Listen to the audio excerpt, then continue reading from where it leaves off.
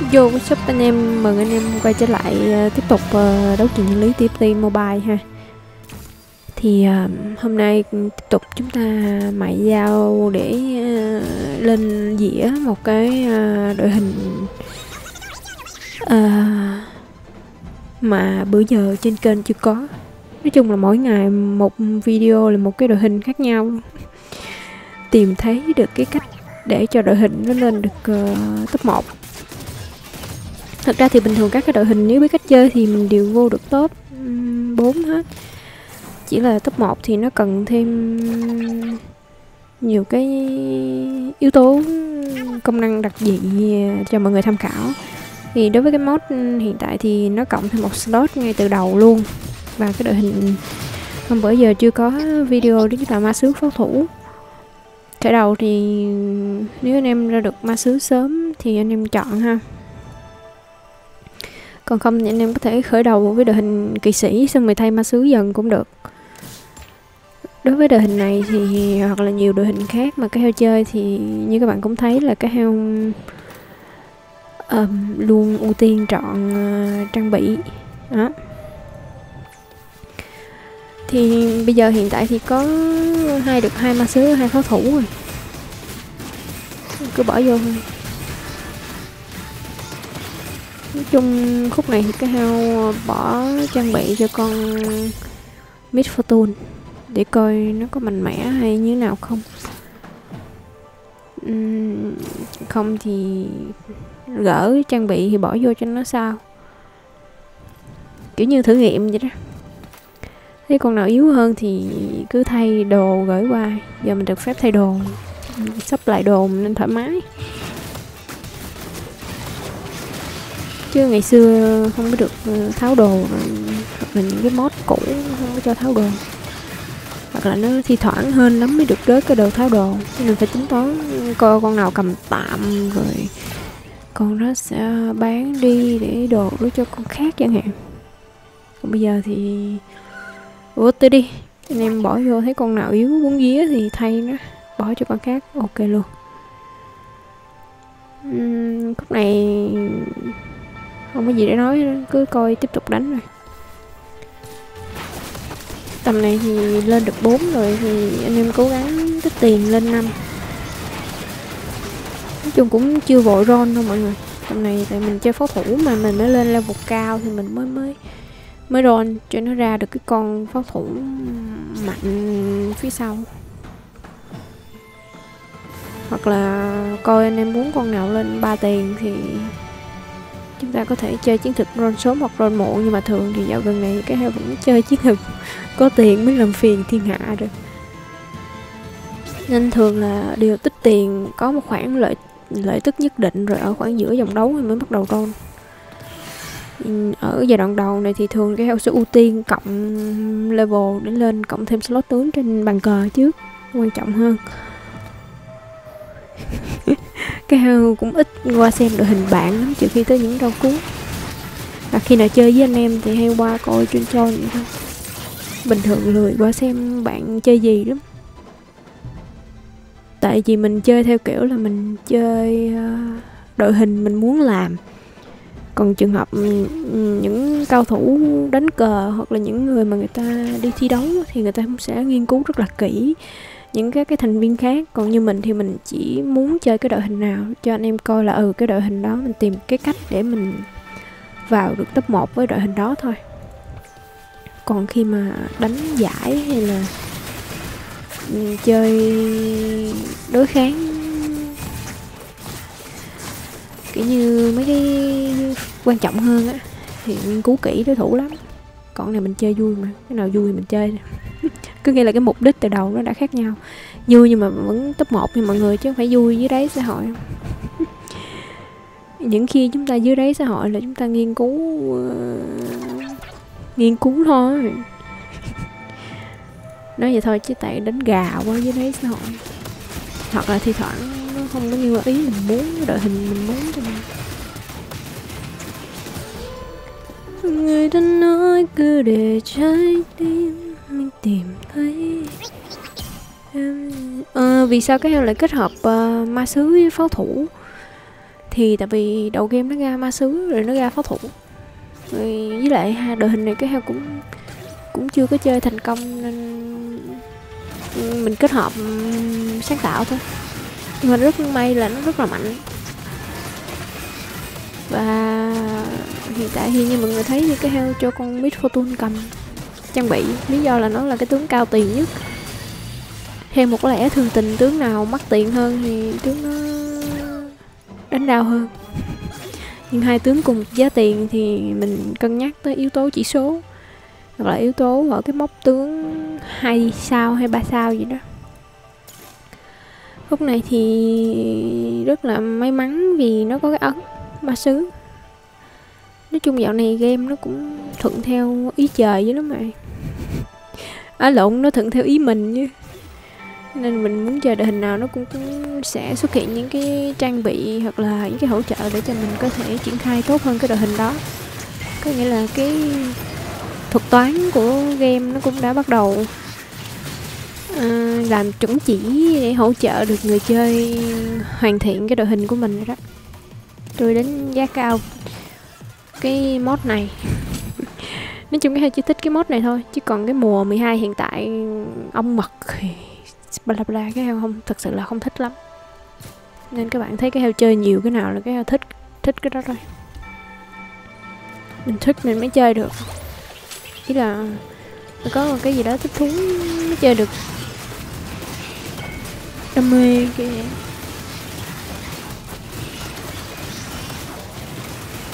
Khúc này thì sẽ yếu một chút nha mọi người tại vì tướng của mình một vàng một tiền mà. Ờ ờ tướng một sao chứ lộn. Toàn một sao chưa có lên được uh, hai sao.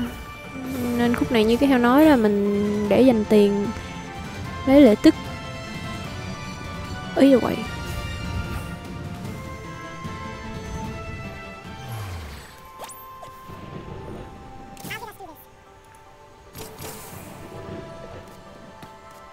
Cung này thì ừ, mọi người biết cái gương mặt vàng trong làng pháo thủ là Lucian dấu án Lucian chưa bao giờ là lỗi thời hết. Ừ, cái heo đã ra cái clip khắc chế Lucian rồi. Thì bây giờ cái heo ra cái clip chơi Lucian ừ. Khắc chế được thì chơi được, đúng không? Tìm cách khắc chế nó thì nghĩa là nó rất mạnh à, giờ triển khai Lucian thôi.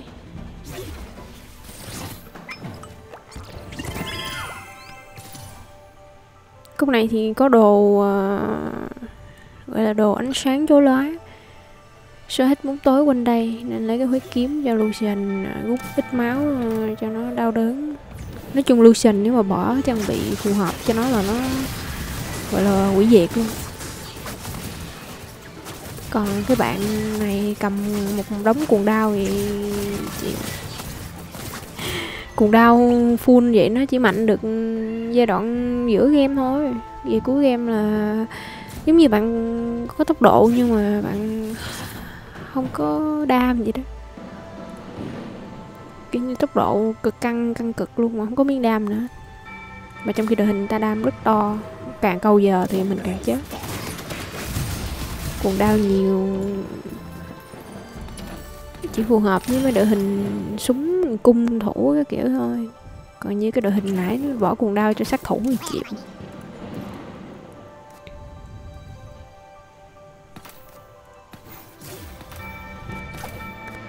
Lúc này thì phải sắp lại. Ưu tiên bỏ cho Lucian bắn cho nó thốn.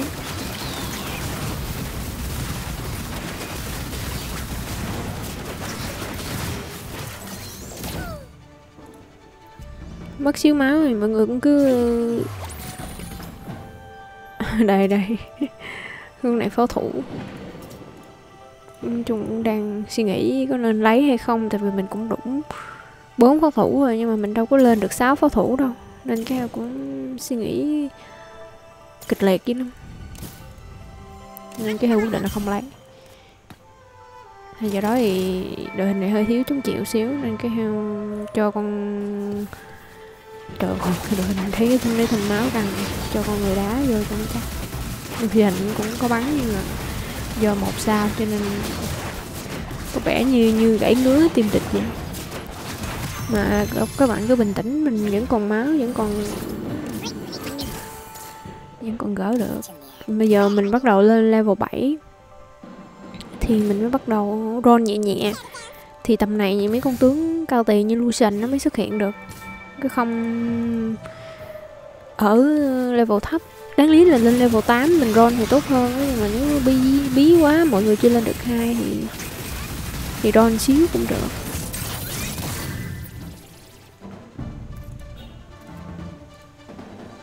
Nói chung mình vẫn còn 46 máu thì mình vẫn còn làm lại cuộc đời. À, bước vào cuộc chơi vẫn được nhưng mà mình vẫn tích tiền nha mọi người. Cái nói chung mình làm gì như mọi người cũng biết có tiền là mọi thứ đều dễ dàng. Lúc này thì cái heo lấy con Apelios thì mọi người cũng biết thì nó là thuộc ma sứ và nó cũng có một cái lượng đam rất là đau cho nên đó là cũng một phần lý do mình chơi ma sứ là vậy, mặc dù nó không có kích hoạt được pháo thủ nhưng mà nó cũng là ma sứ. Thì bế tắc quá thì bắt buộc thì mình phải nâng cấp Lucian lên hai sao thôi. Để mình tiết tiền mình không roll mình kẹt sĩ mình không roll thì, thì, thì, thì, thì. Tại vì nếu mà Lucian không lên hai là trận này chắc chắn là thua luôn nó thiệt luôn. Mình đã hết máu rồi nên mình phải chấp nhận đánh đổi một cái cục uh, cái cục đó gọi là cái cục nhân bản tướng. cái cục gì? Lee Sin thì sắp lên ba rồi. Nên cho Lee Sin đá đá cho vui cũng được. Tính ra Lee Sin chấm chịu cũng ổn phết á, đừng có đùa với Lee Sin. Câu già cái kiểu, đợi tới dưới mưa. Lại ngô lá, ôi rồi ngô lá cái bữa. Trời ơi, cứu tôi cứu tôi. Hơi sợ sợ rồi đó nha khúc này vẫn tích tiền rồi để dành ăn cái móc 5 tiền nha mọi người. Chiến thực uh, ờ, giữ của chạy lấy người.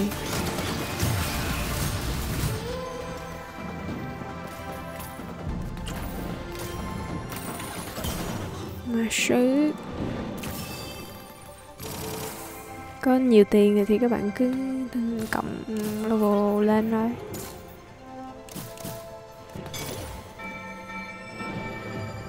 Lúc này không biết lấy cái gì nên quyết định là lấy cái à, cục phép để cho con con pháo phủ uh, photon bắn cho nó đau. Nhưng mà như mọi người thấy thì hàng chống chịu mình vẫn còn yếu. Nhưng mà bù lại thì cái hàng đam phía sau của mình rất là bắn rất là đau.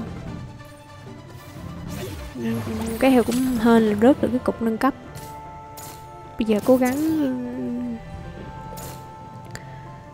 rôn nhẹ cho mấy khứa nào lên hai được thì lên lên ba được thì lên như vậy.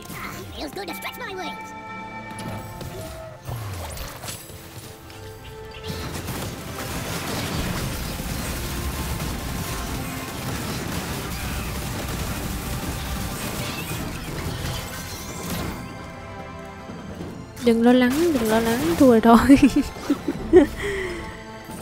Đừng lo lắng theo không đấy những tướng lên hai cần được lên đã lên. Rồi. Lúc này thì cái heo là lấy đồ ánh sáng chói lóa hết.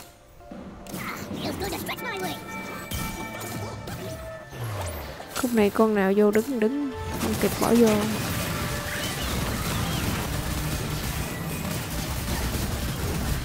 Đấy, bắn đao thốn cực kỳ thấy không? Cái nói rồi cuồng đao nó nó chỉ mạnh ở giữa game thôi bạn biết sao không? Cái heo chơi rồi cái heo biết. Toàn bộ cuồng đao hết, nó có tóc thôi mà nó không có đam nó yếu lắm. Gặp mấy đội hình mà siêu cấp châu bò thì chịu. Không cách nào để thắng luôn. Khúc này ờ, rất là ấn tượng vì ờ, nói chung là cái heo tính lấy cái ấn, nhìn không biết cái ấn nó đúng cái ấn ma sứ không. Cái suy nghĩ lại thôi, lấy trang bị cho lạnh. Nhiều khi hay nhìn lộn cái ấn đó mọi người. Lucian cái heo gắn gặn chút nữa là lên ba đó. Xin lên ba lại thấy ấm ấm trong người rồi dù sao cái hàng chống chịu mình nó cũng yếu thấy không? Nếu như đội hình bạn mà không có đam không có xuyên giáp không có phân tách không có hút máu gặp mấy cái đội hình nó bữa như châu vô đầu vậy chịu.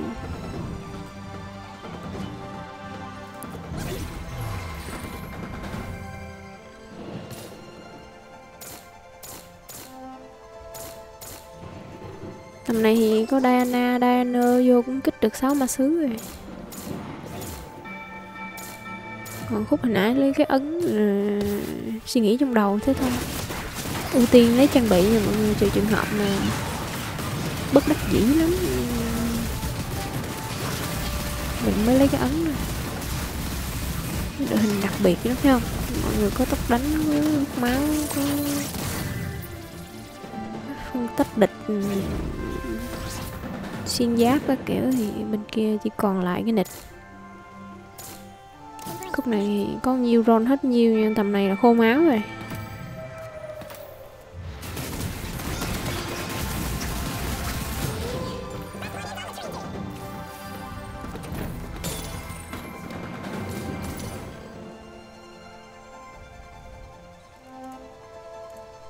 Khúc này không biết lấy cái gì. Nên là quyết định là bỏ đồ cho Apelios cho nó ngon cũng được trời nhìn nè. Tầm này nghèo rồi. Chỉ hy vọng cuối cùng là Ron cho Lucian lên ba thôi. Thấy không? Đội hình khuôn tóc ừ, lết lết vô được top 4 nên đừng đùa.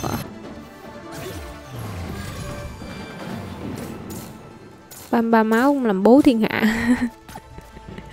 Con này cái đang suy nghĩ có nên bán con con Sinna không?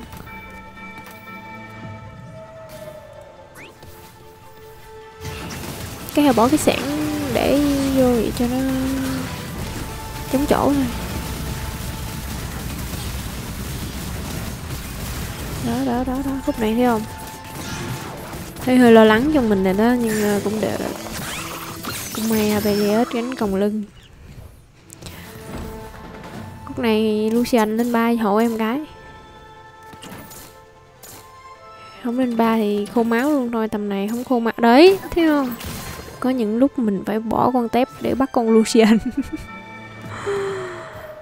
Ok, và đó là hành trình à, đội hình à, ma sứ pháo thủ lên top 1 Nhìn thì có vẻ nhẹ nhàng ha mọi người.